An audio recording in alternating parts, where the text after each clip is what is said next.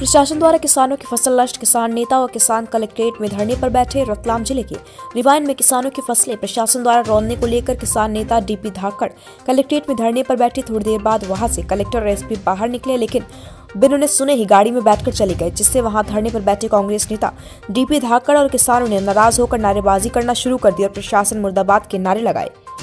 विंध्या किरण के लिए रतलाम से आमीन हुसैन की रिपोर्ट। आज चार बजे रियावन गाँव में कई किसान ऐसे जिनकी फ़सल लहलहा रही थी और पककर तैयार थी। उस पर रतलाम प्रशासन ने बुलडोजर चलाया।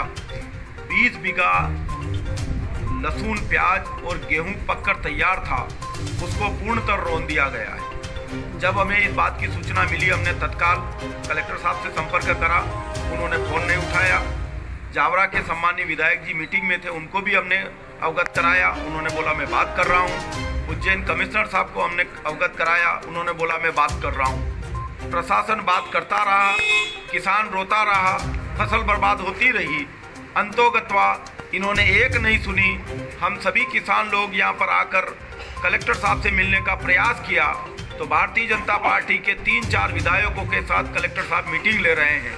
हमारी एक नहीं सुनी गई और उधर फ़सल को पूर्ण रूप से चौपट कर दिया गया है। क्यों कर इसके- कैसे के मन था क्या पर जो भी हो प्रशासन को सारे अधिकारों से हमें हम कोई कानून का उल्लंघन करना नहीं चाहते हैं। हमारा एक विषय है कि जो फ़सल पक के तैयार होने को थी कम से कम महीना पंद्रह दिन प्रशासन रुक सकता था। वहाँ कौन सा ऐसा एयरपोर्ट बन रहा है?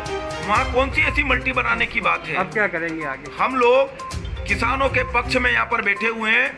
इनका प्लान है 125 बीघा ज़मीन कोई फ़सल को रोंदना। और हम यहाँ पर बैठे हैं कि अब प्रशासन वहाँ जाकर दिखाए। अगर इस तरीके से प्रशासन कार्रवाई करेगा और हमारे किसानों की फ़सल बर्बाद करेगा तो हम किसानों के पक्ष में यहाँ बैठे।